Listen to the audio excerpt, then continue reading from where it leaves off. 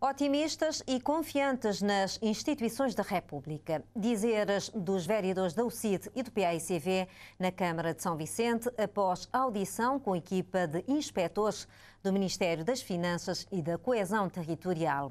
Esses direitos acreditam que, com essa intervenção, o impasse na governação na Câmara, que já leva dois anos, poderá ter os dias contados.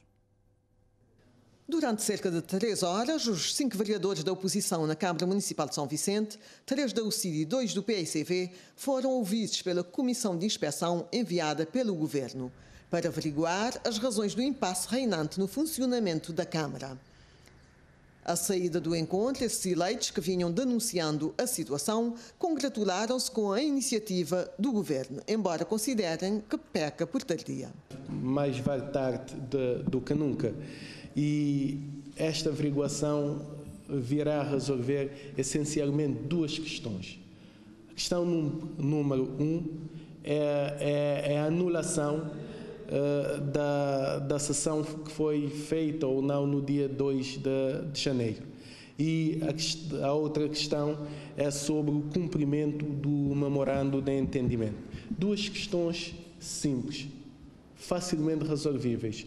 É por isso que nós apresentamos um conjunto de questões uh, meramente uh, técnicos aos, aos, uh, à equipa e apresentamos todos os pressupostos, todas as ideias sobre isso. tivemos um bom entendimento, houve um bom, um bom diálogo.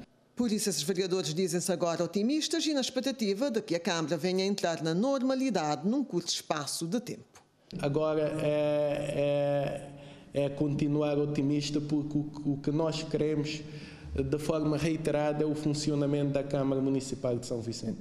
Isto, este órgão eh, deve funcionar, a Câmara Municipal deve funcionar. Nós não falamos aqui nada sobre uh, uh, eleições uh, intercalares ou também outros cenários. Nós falamos das questões técnicas e incidimos no funcionamento o mais urgente possível da Câmara Municipal. O nosso sentimento é de optimismo, porquanto nós continuamos a confiar nas instituições uh, da República.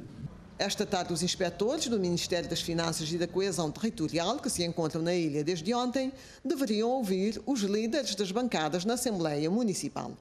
Ontem escutaram o Presidente da Câmara, a mesa da Assembleia e os vereadores do MPD. Agora é aguardar pelos resultados da inspeção.